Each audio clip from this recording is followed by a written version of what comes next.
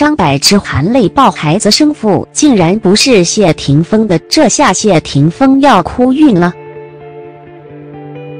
张柏芝跟谢霆锋还有王菲三个人，每一次只要其中的一个人，那两个人就会被提出来。三个人的恋情比较曲折，张柏芝跟谢霆锋拍摄《无极》和《老夫子》，两个人日久生情，最后两个人奉子成婚。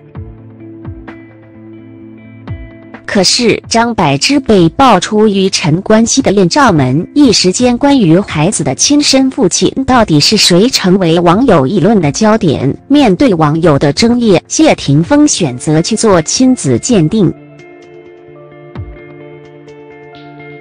开始亲子鉴定这件事，谢贤和狄波拉抱有不同的态度。谢贤十分愤怒地说：“这是自己的孙子，绝对不会有错的，并且坚决反对谢霆锋带自己的孙子去医院做亲子鉴定。”可是狄波拉却很担心，面对外界的言论，十分想要弄清楚这个疼爱有加的孙子到底是不是自己家的。最后，张柏芝含泪说出：“这个孩子不是陈冠希的，是谢霆锋的。”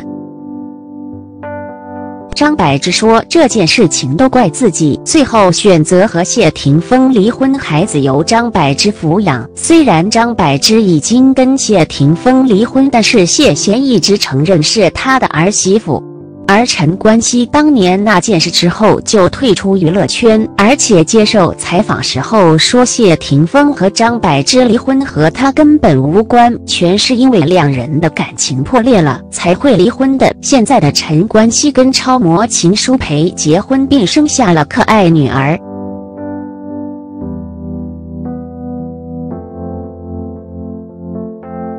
孩子竟不是谢霆锋的。张柏芝含泪抱孩子生父，现在两个孩子慢慢长大，越来越像谢霆锋。看来当年的事情就是炒作。